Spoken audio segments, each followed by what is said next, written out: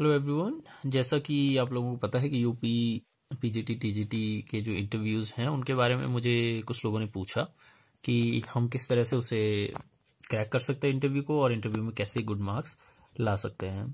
तो मैं आप लोगों को दो तीन चीज़ों के बारे में बात करूँगा। ये सिर्फ़ टीजीटी पीजीटी यूपी के बारे में नहीं है। आप किसी भी इंटरव्यू अगर टीचिंग इंटरव्यू में जा रहे हैं तो आप लोगों को इस, इन चीज़ों के बारे में ख्याल रखना है, ठीक है? बेसिकली इंग्लिश लिटरेचर के बारे में।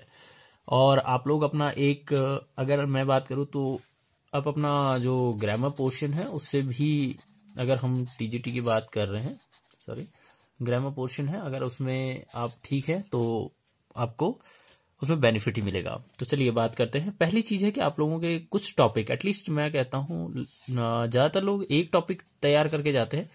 मैं, मेरा सजेशन है आप कम से कम तीन टॉपिक आप अपने सही से करके जाइए।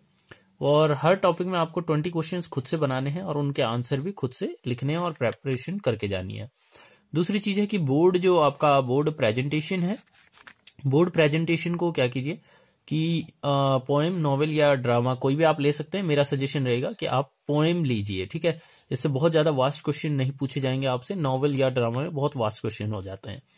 तो आप एक कोई भी पोएम लीजिए, उसे प्रैक्टिस कीजिए और पूरी पोएम याद करने की कोशिश कीजिए, उसका प्रेजेंटेशन अच्छा रखिए प्रोनाउंसिएशन के साथ में।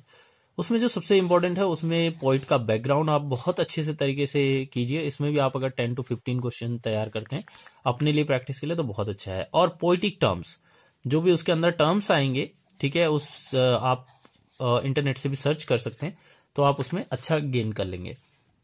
एक बहुत इंपॉर्टेंट चीज़ है, वो है आपकी स्पोकन जो स्किल्स है। स्पीकिंग स्किल्स आपकी ठीक होनी चाहिए। अगर नहीं है, फिर भी जितना ये मैटर है, कम से कम इसके लिए आप इतना अच्छा प्रिपेयर कीजिए कि दूसरे को पता नहीं चले कि आपकी स्पीकिंग स्किल्स कमज़ोर हैं। ठीक है? अब उसके बाद आती है एक बिग स्माइल अपने फेस पर हमेशा थोड़ा सा स्माइल रखने की कोशिश कीजिए। इससे आपका कॉन्फिडेंस शो होता है। चाहे आपका कॉन्फिडेंस लो क्यों ना हो रहा हो, लेकिन फिर भी आप कॉन्फिडेंट दिखते हैं। तो एक थोड़ा सा स्माइलिंग फेस लेके आप अंदर जाइए। अगर आप चाहते हैं कि मैं आप लोगों के, आप लोग मेरे साथ तैयारी करना चाहते हैं अपने इंटरव्यू की तो आप लोग मुझे कांटेक्ट कर सकते हैं मेरे व्हाट्सएप नंबर पे। और मैं आप लोगों को अपने पर्टिकुलर तरीके से आप लोगों को उसमें तैयारी करवा सकता हूँ।